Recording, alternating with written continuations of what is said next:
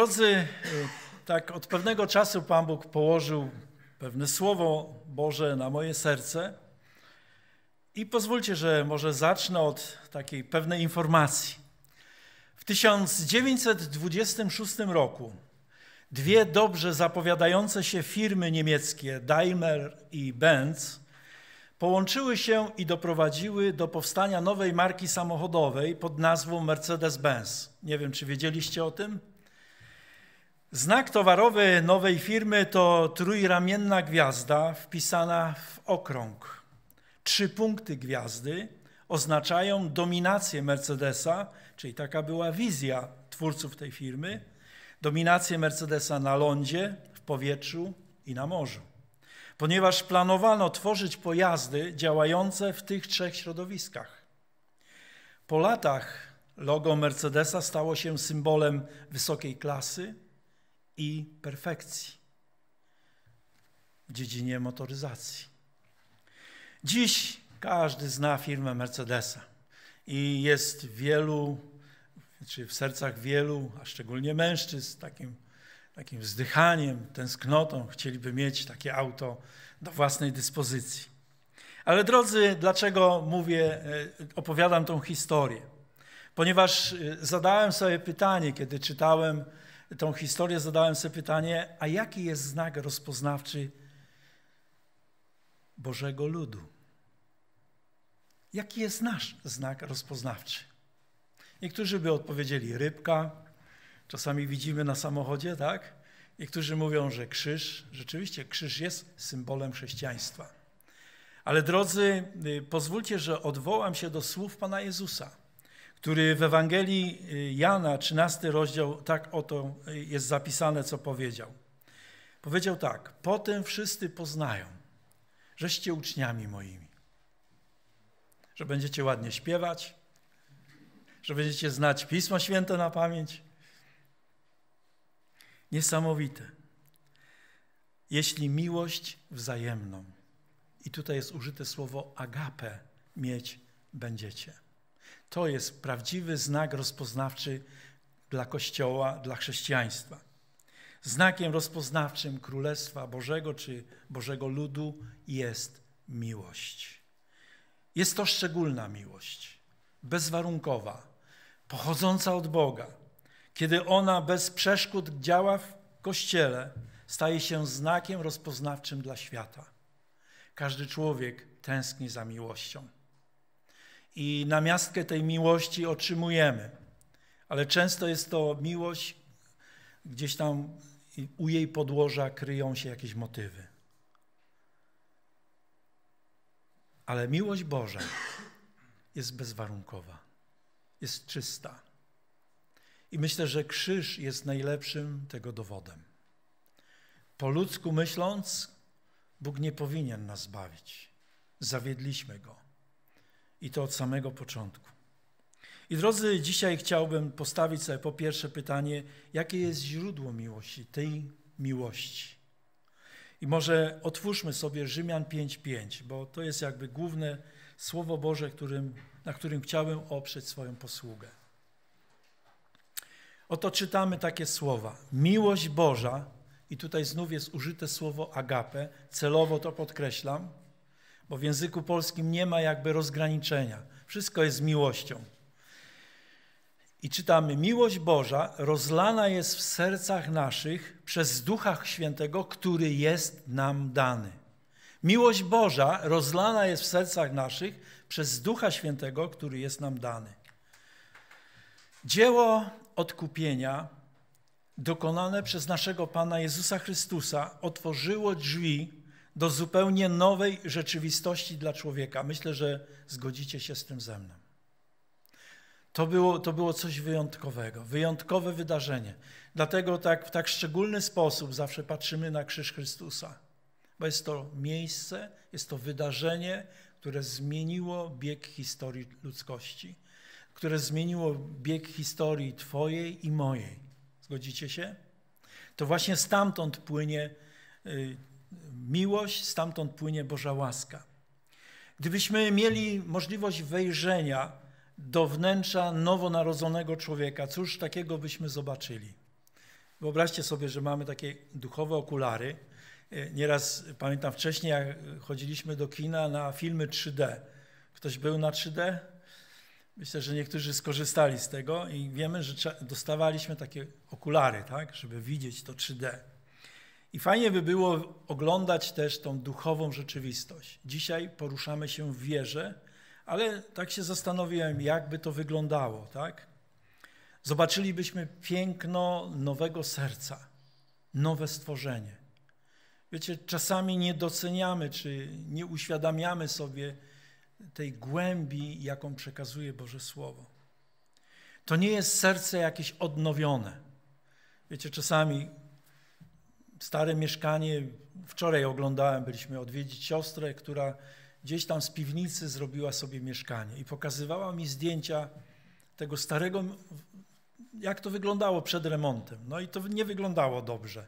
I ona to odnowiła. Ale gdy Biblia mówi o nowym sercu, to nie mówi o jakimś remoncie, tak? Zupełnie nowe. Bóg zabrał serce kamieniste i dał nam nowe serce. I ty i ja mamy takie nowe serce. Zobaczylibyśmy też serce przepełnione Bożą obecnością. Jesteśmy Bożą świątynią. A więc ta Boża chwała, Boża obecność jest w każdym z nas. Ona jest pośród nas, ale jest w nas. I człowiek stał się taką świątynią. Obrazem jest starotestamentowa świątynia. Dziedziniec, miejsce święte i miejsce najświętsze. I nasze serce jest tym miejscem najświętszym.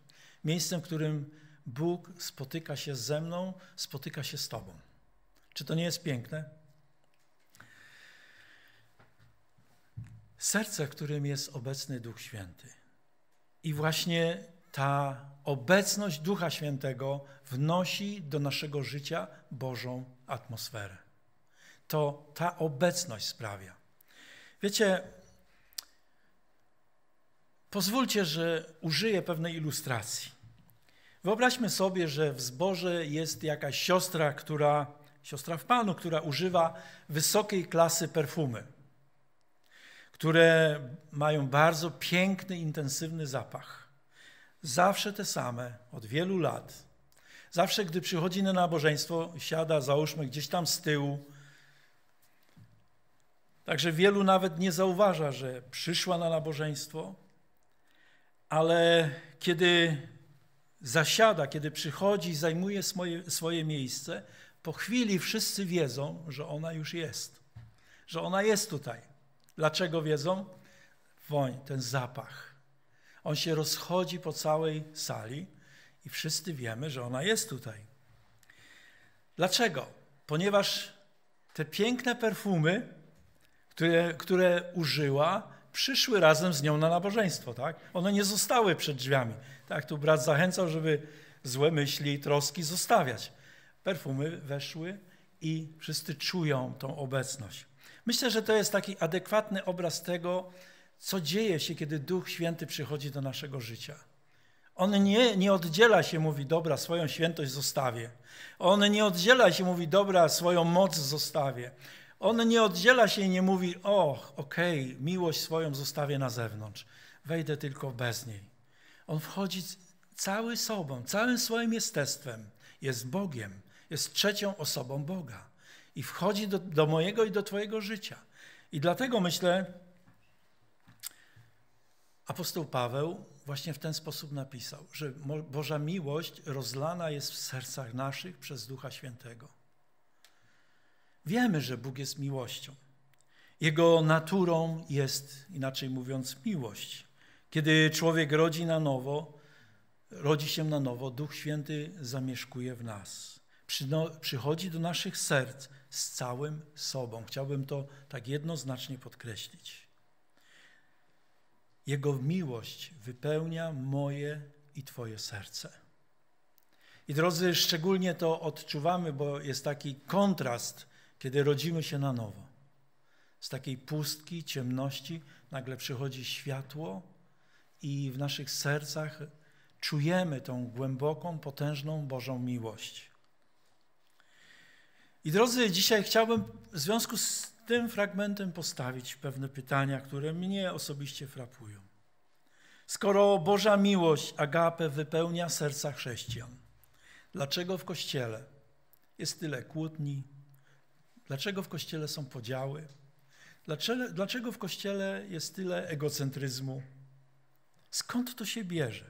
Dlaczego nasze postępowanie tak często nie jest nacechowane właśnie tą miłością agape, ale egocentryzmem? Mówię to patrząc na swoje życie czy, czy moich bliskich. Gdzie leży przyczyna takiego stanu? Dlaczego tak się dzieje?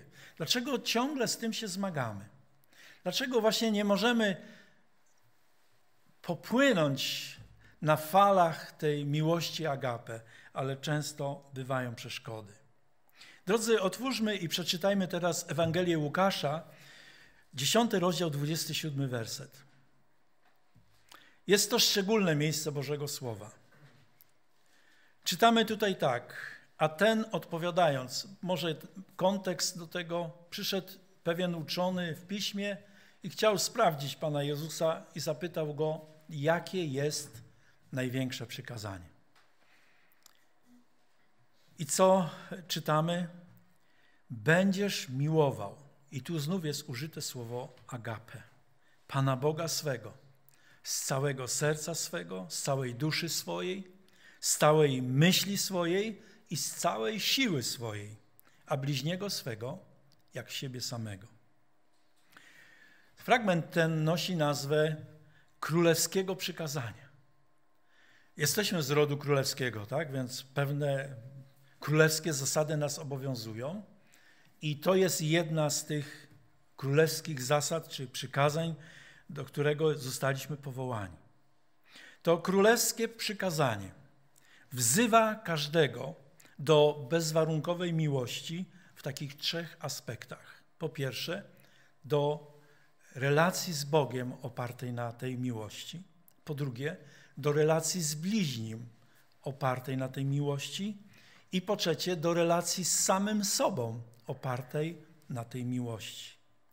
Gdyby spojrzeć na te trzy aspekty, należałoby je jakoś uszeregować czy upoziomować, może lepsze słowo. I na najwyższym poziomie jest miłość do Boga. Bóg jest na pierwszym miejscu. Bardzo pięknie to podkreśla to przykazanie.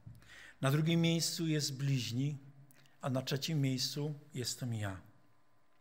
Kolejność jest tutaj ważna. Myślę, że nie jest przypadkowa, ponieważ te poszczególne aspekty oddziałowują na siebie. To nie jest coś przypadkowego i pozwólcie, że teraz przyjrzymy się przez chwilę. Przyjrzyjmy się pierwszej zależności.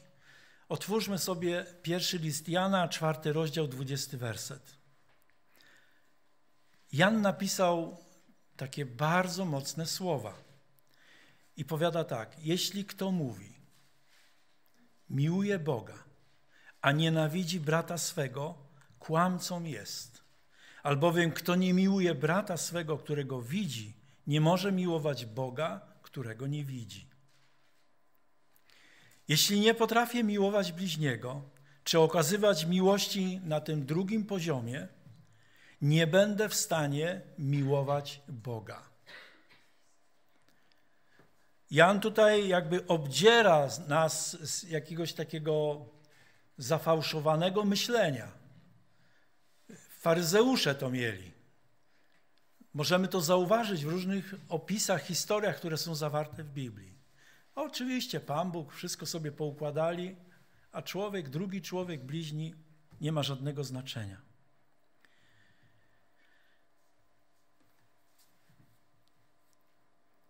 Takie właśnie przesłanie zawiera pierwszy list Jana.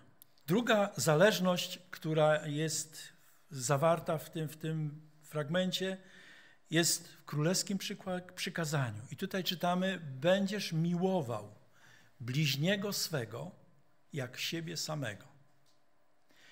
I powiem, nieraz się zastanawiałem, co to znaczy miłować samego siebie. Często w kościele jesteśmy uczeni, że powinniśmy wyrzec się samych siebie.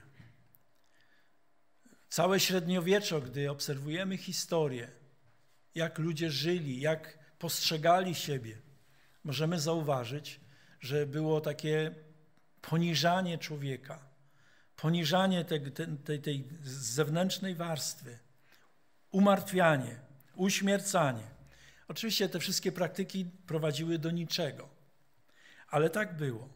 I często z tamtych źródeł gdzieś mamy ukształtowany sposób myślenia.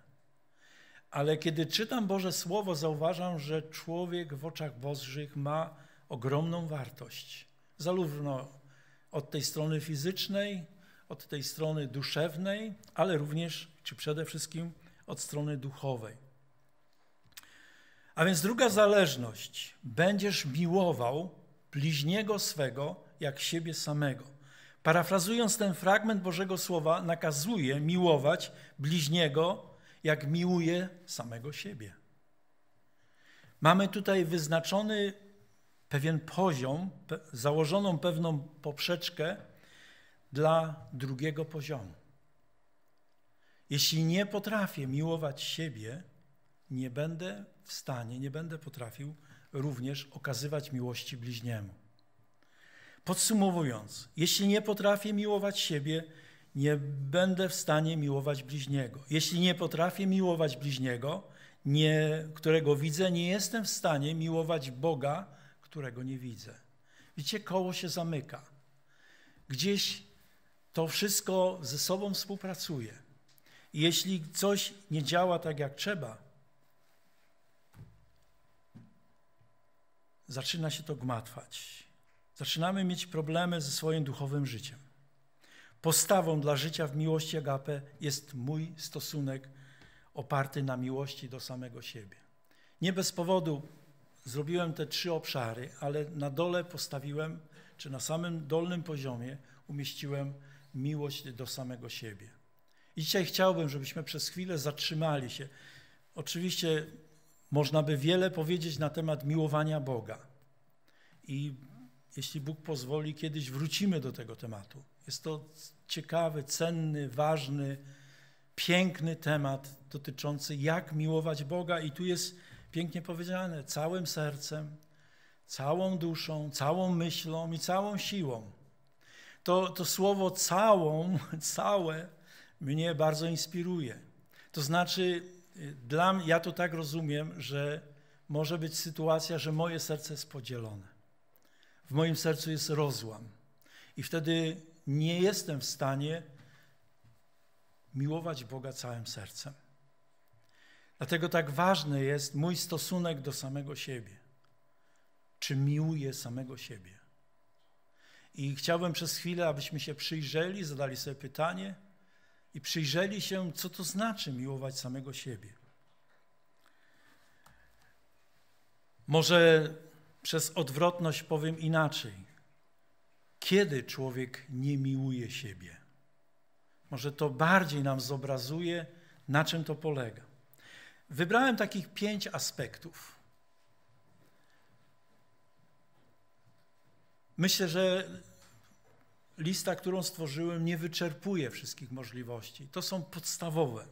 I chciałbym, abyśmy się nad nimi chwileczkę pochylili. Po pierwsze, człowiek nie miłuje siebie, gdy odrzuca lub porzuca Bożą łaskę gdy odrzuca lub porzuca Bożą łaskę.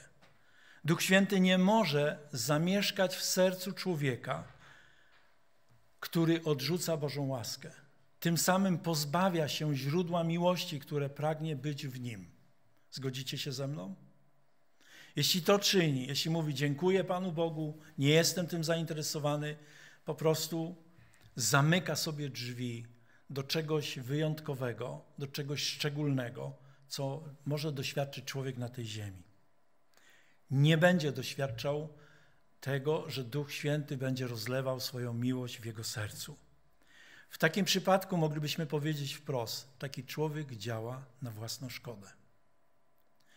Powiem więcej, ta szkoda ma wymiar wieczny, ponieważ zamyka sobie drzwi do Bożego zbawienia. Bywa czasem, że ktoś zakosztuje Bożej łaski, ale potem zamyka drzwi. Potem jakoś okoliczności życia, jakieś grzechy, jakieś upadki, jakieś doświadczenia, które, przez które nie przeszedł, powodują, że jego wiara się załamuje. I taki człowiek odrzuca Bożą łaskę. Spotykałem na swojej drodze takich ludzi. Jest to bardzo niebezpieczny stan. Trudno powiedzieć, czy taki człowiek jeszcze kiedykolwiek będzie miał szansę, aby na nowo zbliżyć się do Boga. Ale to jest zamykanie drzwi, które już zostały otwarte dla Pana Boga. Wyproszenie Pana Boga ze swojego życia. A więc jest to bardzo niebezpieczny stan i to jest brak miłości do siebie. To jest jeden z elementów braku miłości do siebie. Kolejny, gdy chrześcijanin nie zapiera się samego siebie i nie bierze swojego krzyża. Jest to cielesny chrześcijanin. Bóg nas powołał do czegoś głębszego i nasza cielesność może spowodować, że nie będziemy doświadczać tej Bożej miłości rozlanej przez Ducha Świętego w naszym życiu. Powoduje to nasza cielesność, że żyjemy tym, co jest na zewnątrz, tym, co jest zmysłowe, tym, co budzi się jako pragnienia naszego ciała, naszej cielesności.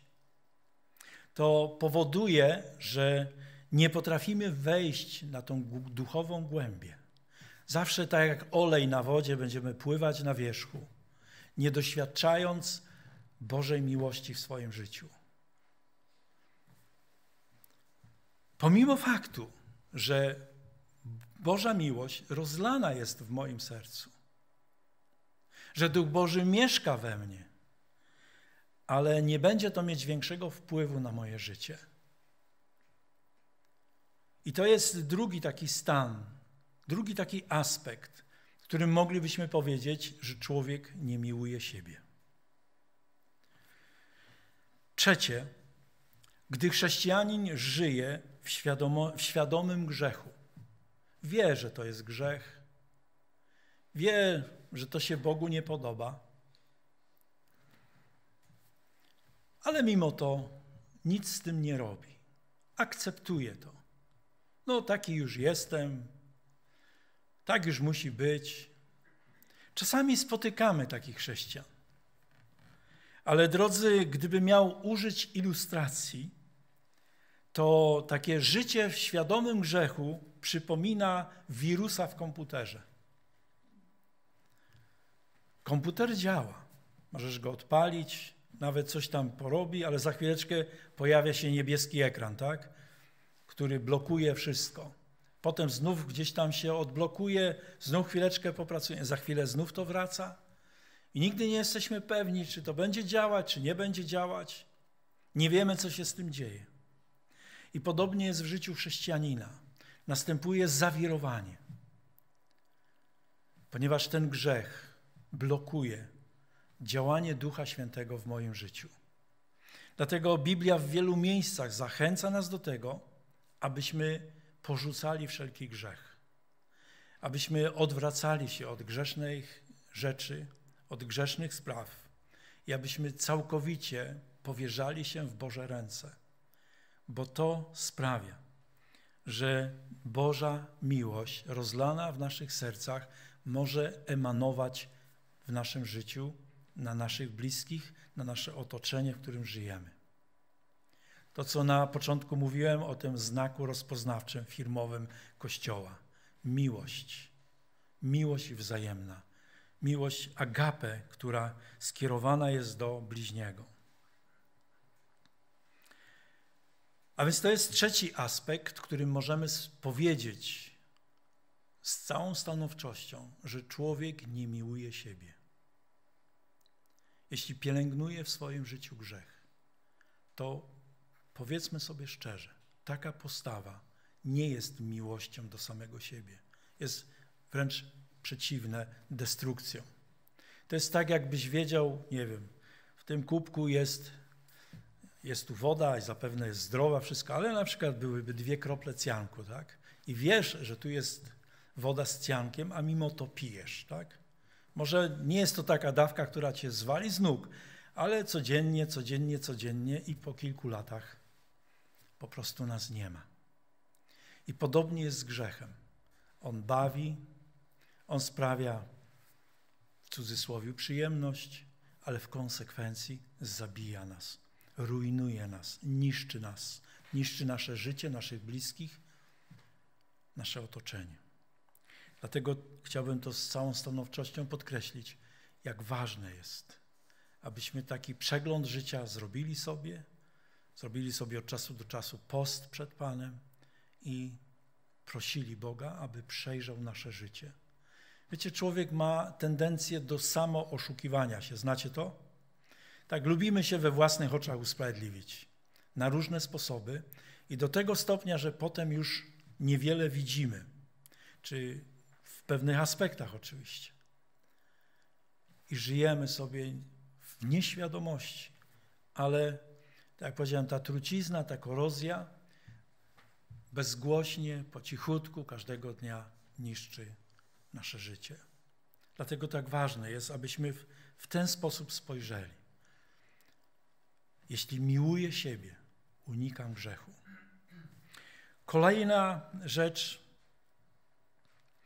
to jest y, sytuacja, w której człowiek, w której chrześcijanin nie potrafi wybaczyć sobie z złej przeszłości.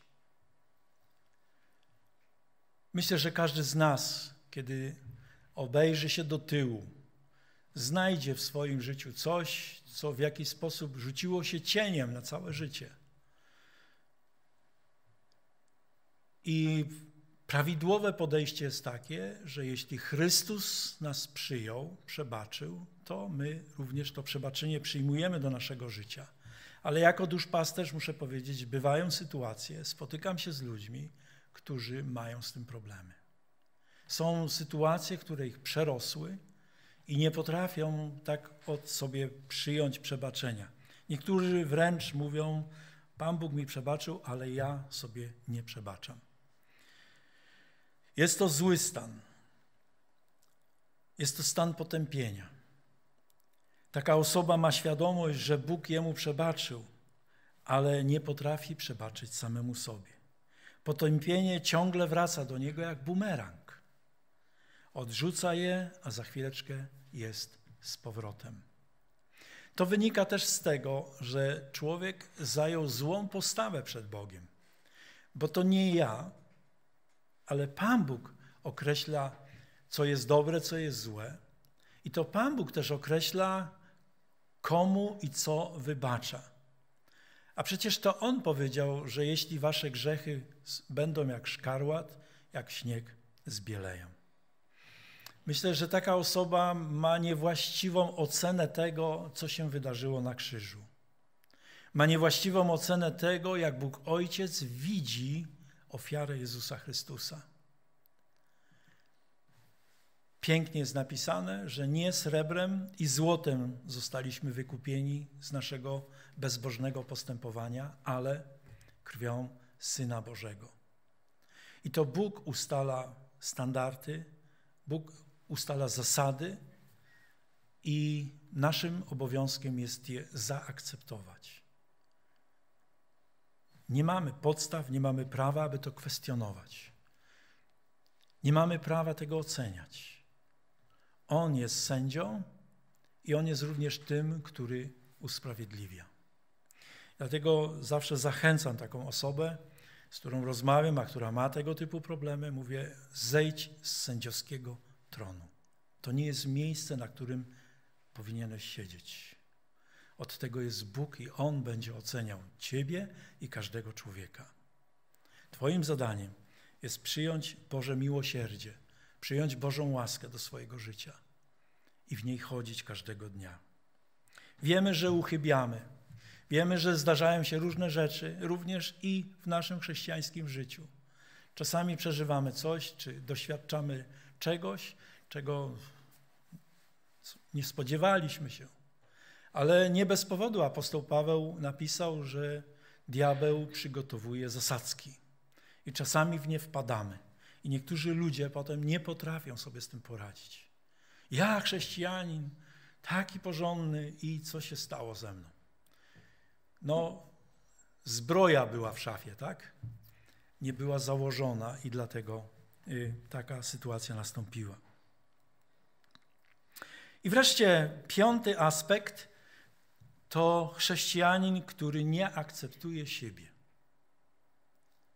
Myślę, że we współczesnych czasach, w których żyjemy, ma to ogromny wpływ również na Kościół.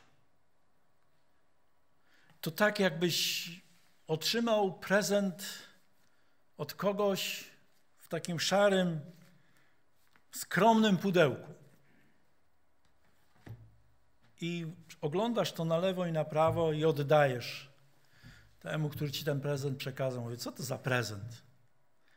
Ale ofiarodawca mówi, otwórz i zobacz. I kiedy człowiek się przekonuje, otwiera i patrzy, a tam ma najnowszy telefon, tak? Nie będę wymieniał jakiej marki, ale piękny, nowiuteńki telefon, ale opakowanie było skromne. Jest to ilustracja tego, jak powinniśmy patrzeć na siebie. Świat wykreował, że masz się prezentować na zewnątrz. Masz ładnie wyglądać. Nieważne, co jest w środku. Ważne, że ładnie wyglądasz. I to jest podstawa. Określił wymiary, jakie kobiety mają, jakie mężczyźni mają mieć. Określa, ile tatuaży, jakie powinieneś mieć.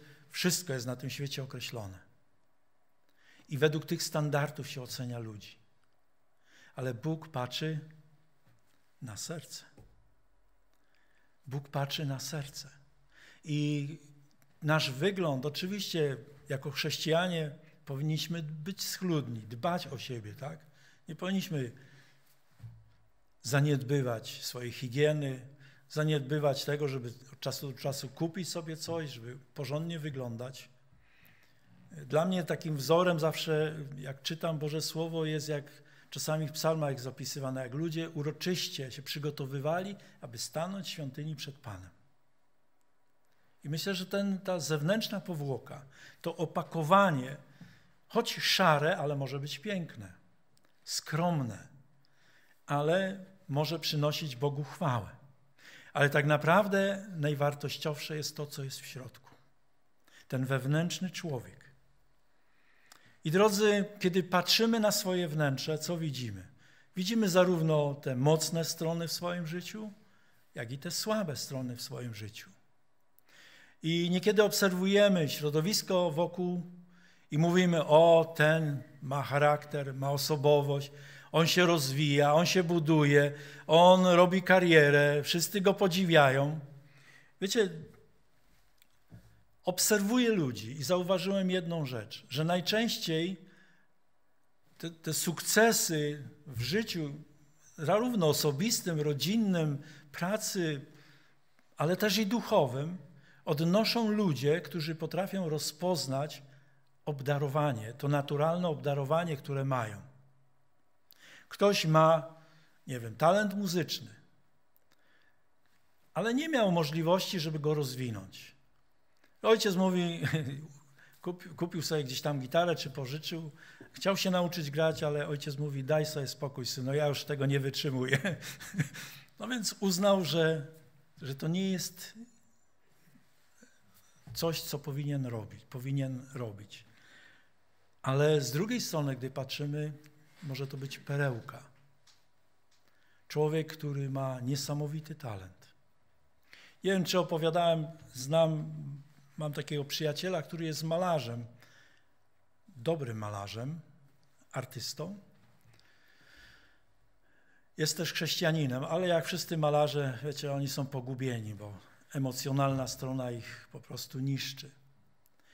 Ale chłopak wychował się w PGR-ze. Ojciec, matka byli alkoholikami.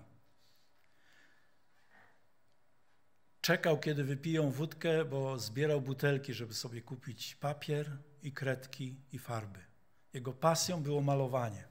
I w zasadzie, gdy patrzyłem i słuchałem jego historii, pomyślałem sobie, ten facet nie miał żadnych szans, żeby zostać artystą. Gdzieś tam na północy Polski, jakimś z zabitym dechami PGR-ze, żył sobie chłopaczek.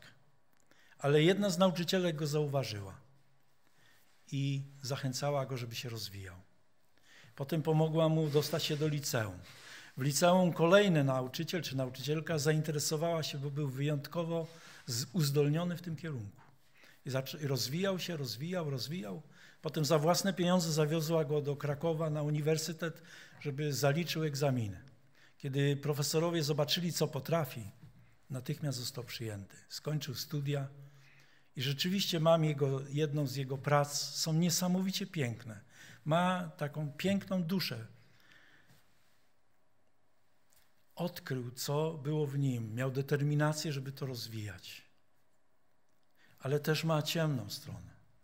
Kiedy wpada w jakieś kryzysy kanały, wtedy kupuje sobie nalewkę i trzy dni z głowy. Potem znów się zbiera i tak wygląda jego życie. I drodzy, gdy popatrzymy na historię tego człowieka, czy gdy popatrzysz na swoją historię, zobaczysz te dwie strony medalu.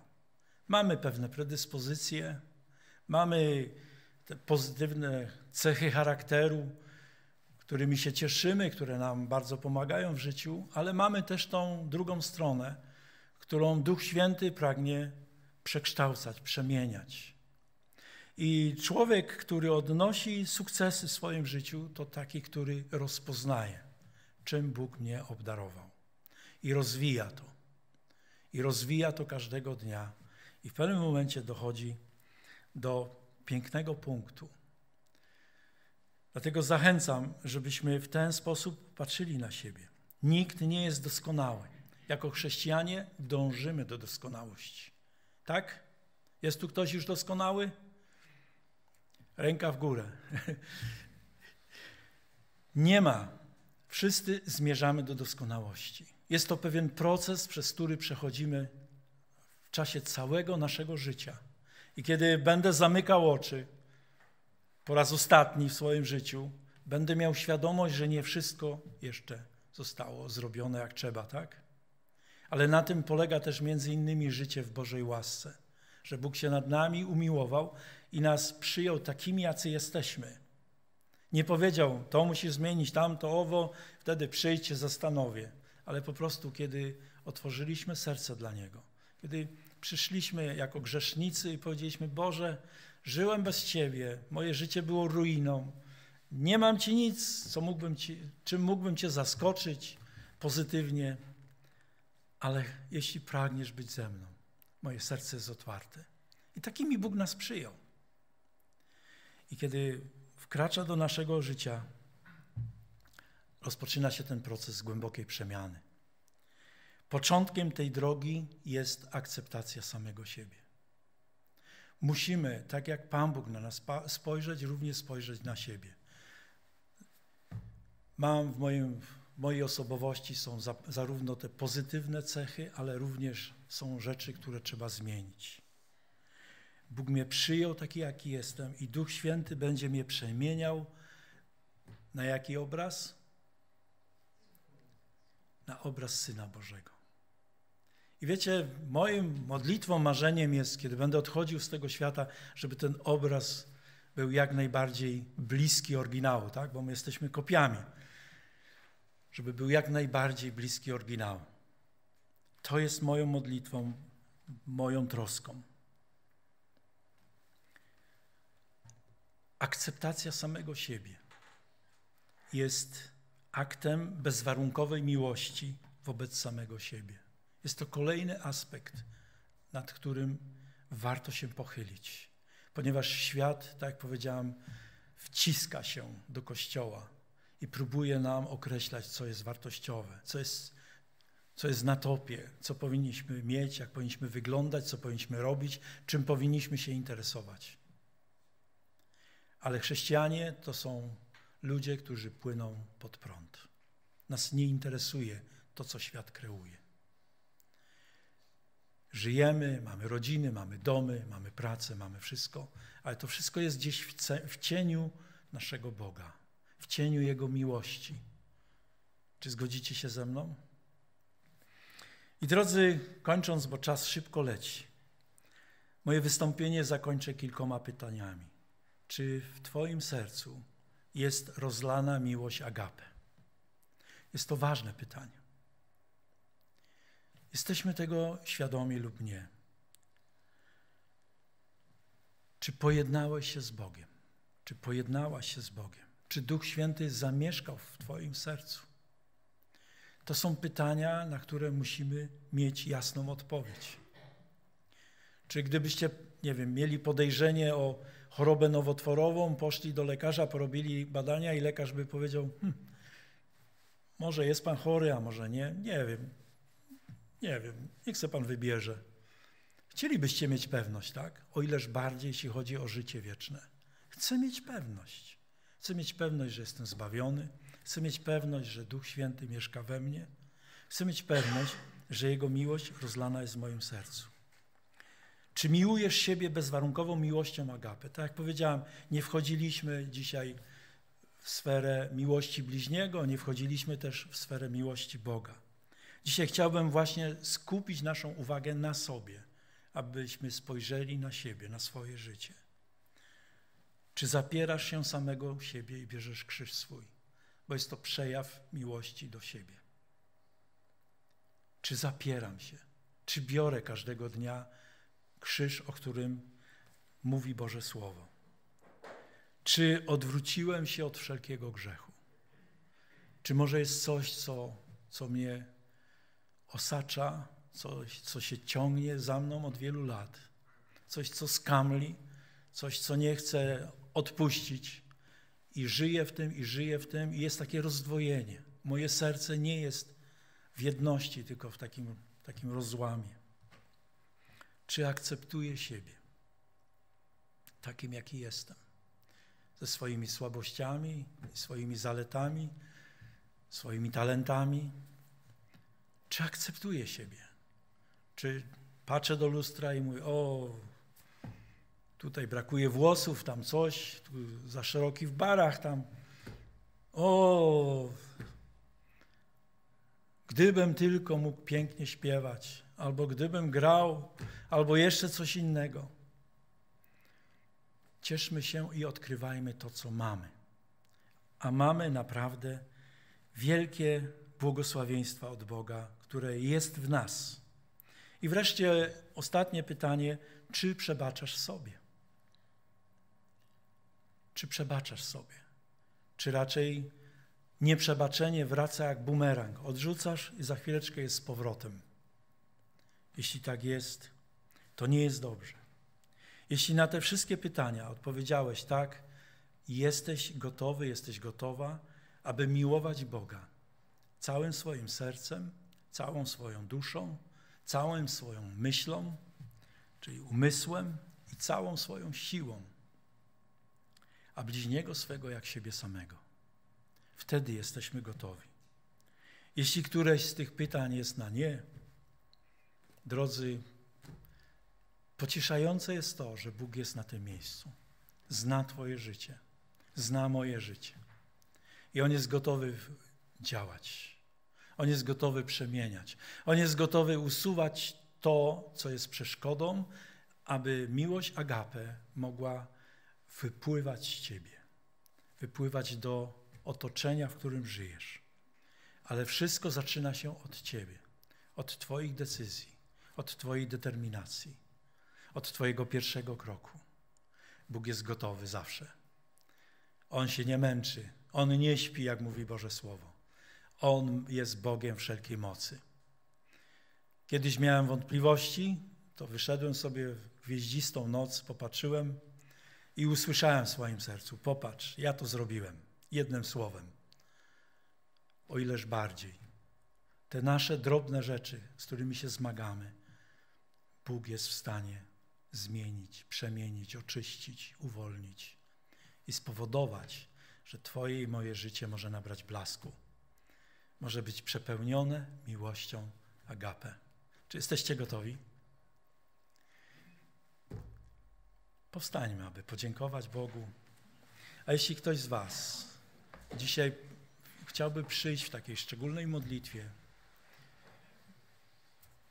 jesteśmy gotowi jako duszpasterze. Jestem gotów z Tobą się modlić. Przyjść do Boga. Tak powiedziałem, On tutaj jest. Jego pragnieniem jest, aby miłość Boża rozlewała się w Twoim życiu. Ojcze,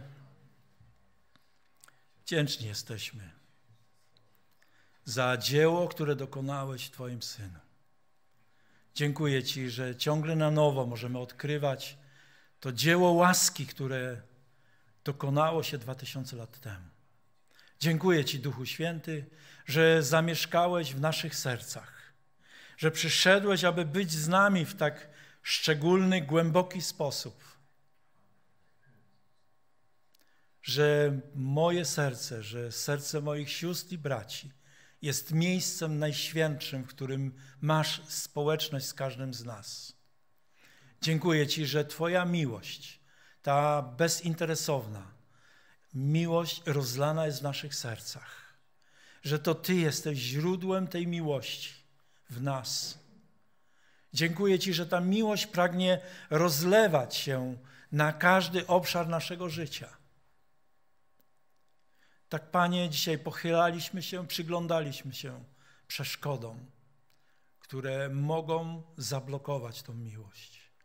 I modlę się o siebie, modlę się o każdego z nas, abyś nam pokazał, jeśli są takie przeszkody, aby one zostały usunięte, abyśmy mogli w tej miłości kroczyć przez życie każdego dnia. Błogosław moje siostry, moich braci. Niech ta miłość przenika nas, przenika każdą dziedzinę naszego życia, przenika każdą relację. Relacje z naszymi bliskimi, relacje w pracy, relacje nawet w sklepie, w markecie, relacje w autobusie. Niechaj ona przenika również w tą relację, którą mamy sami z sobą, abyśmy również na tej miłości budowali tą relację, abyśmy miłowali samych siebie. Ale przede wszystkim modlimy się, aby nasze serca były gotowe i z godnością miłowały Ciebie. Pragniemy tego z głębi serca. Weź sobie chwałę z naszego życia. W Twoje ręce się, Panie, powierzamy. Jeśli ktoś jest na tej sali, kto potrzebuje dzisiaj dotknięcia Twojej ręki, proszę dotknij się. Niech przyjdzie uwolnienie. Niech Twoja miłość przepełni ten obszar. Niech zostanie ta przestrzeń otwarta dla Ciebie. Dziękujemy Ci, że jesteś Bogiem, który ma wyciągnięte ręce do swoich dzieci. Tak jak dobry ojciec kocha, o ileż bardziej Ty nas miłujesz. Uwielbiamy Twoje święte imię. Amen.